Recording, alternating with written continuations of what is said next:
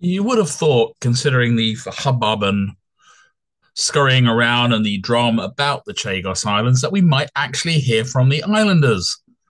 That seems rather strange that their voices have drifted out of the mix. Uh, the only place I've found so far where they've been speaking at length is Al Jazeera. That's a horrible, horrible Middle East station. But let their speaking on there, and here's what they have to say. Let's have a listen. This is what the people of the islands actually have to say about Britain. Since we can actually hear them here, let's blow them up a bit and let them talk for two or three minutes.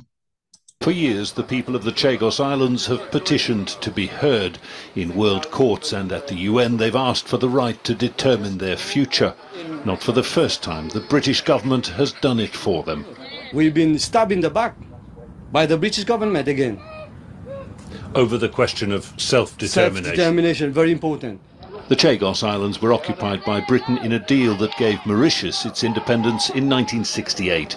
The indigenous Chagosians became refugees, resettled in Mauritius, the Seychelles and the UK. Now Britain's last colony in Africa will return to Mauritian sovereignty, and many Chagosians who hope to go home fear their identity may be wiped out. So what options do you think are open to you? I mean, right now, frankly, I don't know. Perhaps we have to sit down, assess, and see what what what campaign we have to start now for at least before everything get implemented. Mm. Like the British government, at least we have the decency to listen to us. As part of the new agreement with the Mauritian government, Britain retains a 99-year lease on Diego Garcia, one of the islands and home to a joint UK-US military base. The British government describes the decision as historic, righting the wrongs of the past, protecting international security. But for members of the Chagosian community in the UK, it's not that simple. They see it as a double betrayal. All states in the world should respect the right to the self-determination. Again, where is our identity? Are we Mauritian? Are we Chagosian? Are we British citizen? No one asked them in 1968. No one has asked them now. Jonah Hull, Al Jazeera, Crawley. Let's stop sharing Make sure to subscribe uh, to our channel to get the latest news from Al Jazeera. And let's make sure that, by the way, we don't get a sound blast back from Windows again. So there's the actual Islanders speaking, who have been noticeably absent from the BBC or ITV's coverage. That's about the most coverage I could actually find of them.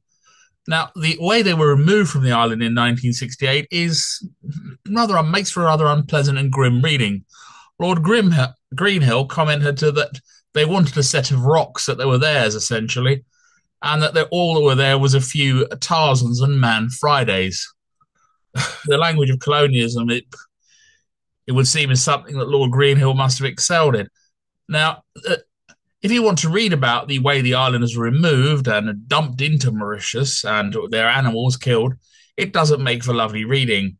And I imagine it coming back as a kind of out of the depths of history is causing the British government no shortage of embarrassments, especially as the Diego Garcia is an island which is also featured in lovely reports of rendition of prisoners and torture.